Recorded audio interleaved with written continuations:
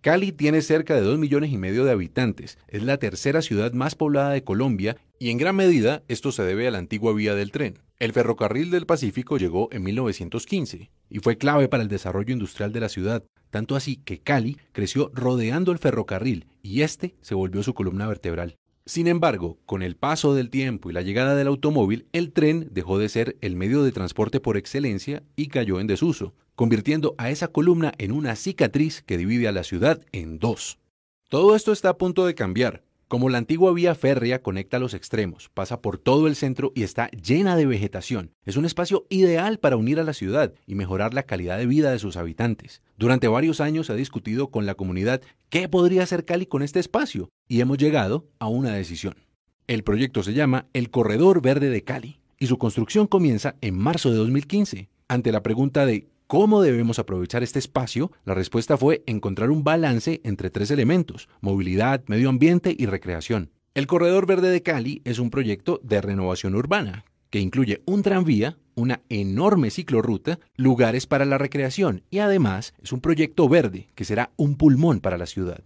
Para entender cómo se relacionan los tres elementos es importante conocer el espacio. Primero está la carrera octava, que aunque no hace parte de la antigua vía férrea, está incluida en el proyecto porque es el punto de conexión perfecto con el oriente de la ciudad. Son 5 de los 22 kilómetros que conformarán el corredor verde. Los otros 17 son la antigua vía del tren que atraviesa a Cali de norte a sur. En algunos puntos del trayecto su amplitud llega a ser de 150 metros y en los tramos más estrechos tiene 40 metros. Hay vegetación a lo largo de toda la vía y 6 de los 7 ríos de Cali tienen contacto con ella.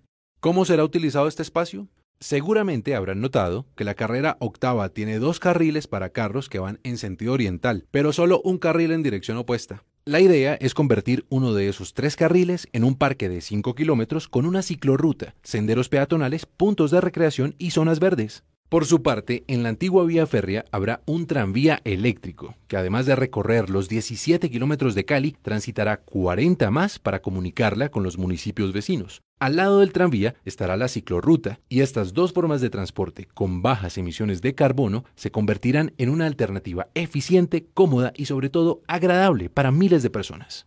Una enorme autopista podría ser más útil en términos de movilidad para el vehículo particular, pero la idea del corredor verde es mejorar la calidad de vida de todos los caleños y eso implica lograr un equilibrio. El corredor estará lleno de especies nativas de árboles y será a través de esta vegetación que se unirán las cuencas de los ríos que por allí pasan. Los animales que habitan la cuenca de un río podrán moverse hacia los otros. Esa comunicación entre distintas fuentes hídricas es clave para generar vida.